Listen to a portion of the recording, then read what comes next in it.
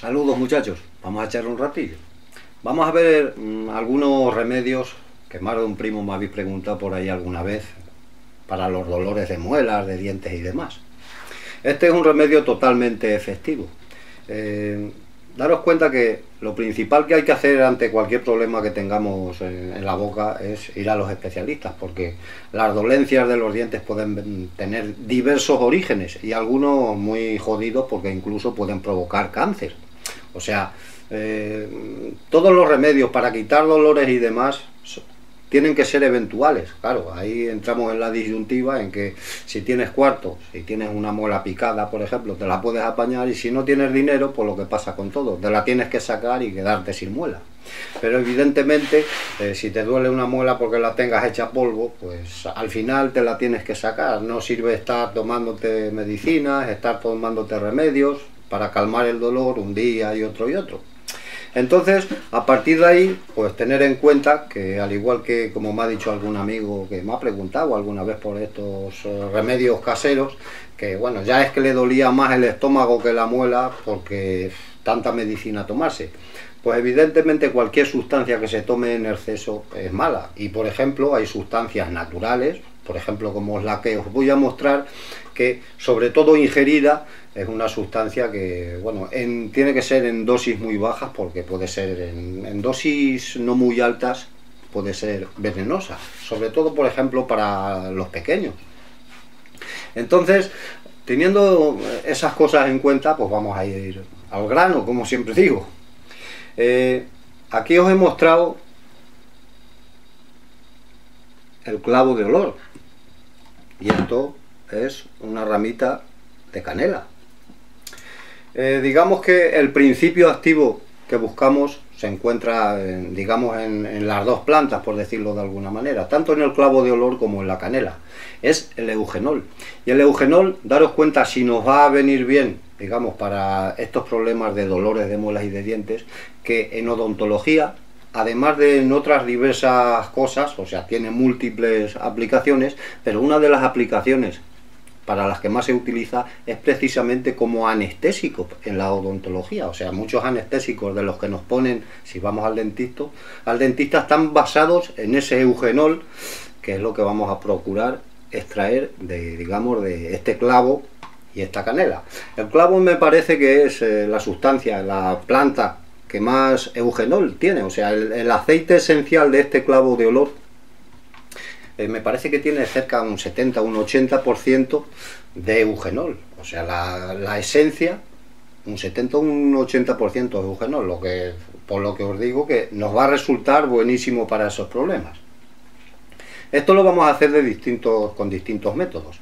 Por ejemplo, lo ideal es, como ya os he mostrado por ahí en algún vídeo anterior, aquí tenéis un bote en el que con boca estoy macerando este clavo de olor y una ramita de canela.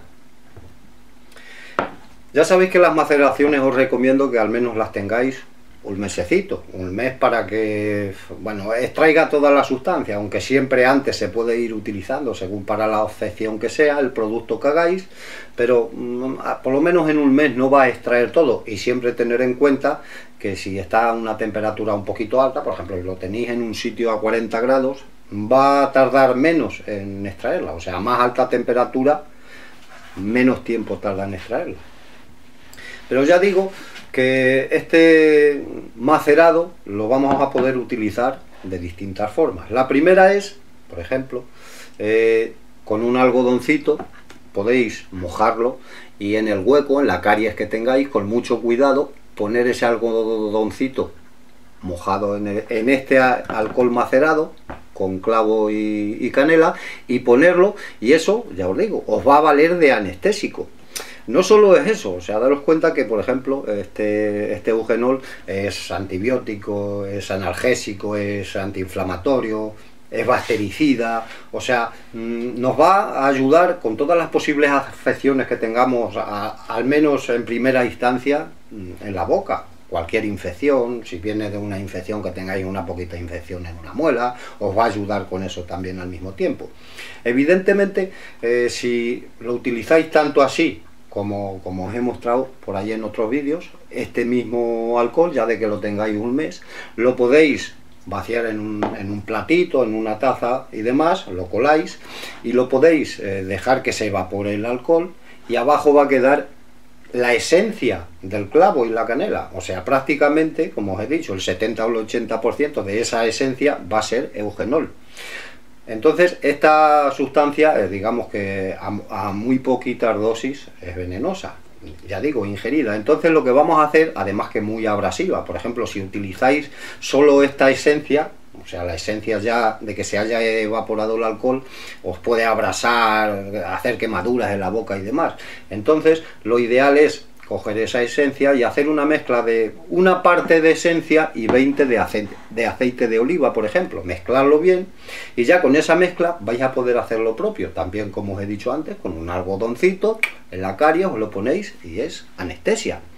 Eh, son mm, un método que ya os digo, hace falta un poquito de tiempo.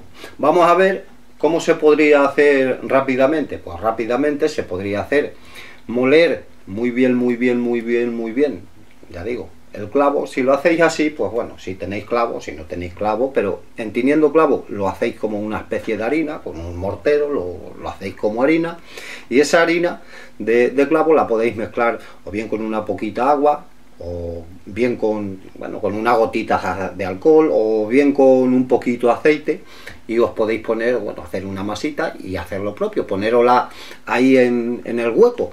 Procurar que no os sobre todo si os dais la esencia pura, el que opte por ese camino, porque evidentemente va a ser más potente, la esencia pura, pues procurad que no os caiga en ningún sitio más de la boca, porque ya os digo, puede ser abrasivo, es una sustancia, digamos que mm, es para tener cuidado con ella. tiene muchos beneficios, pero es para tener cuidado con ella. Ya os digo que se puede hacer de, muchas formas.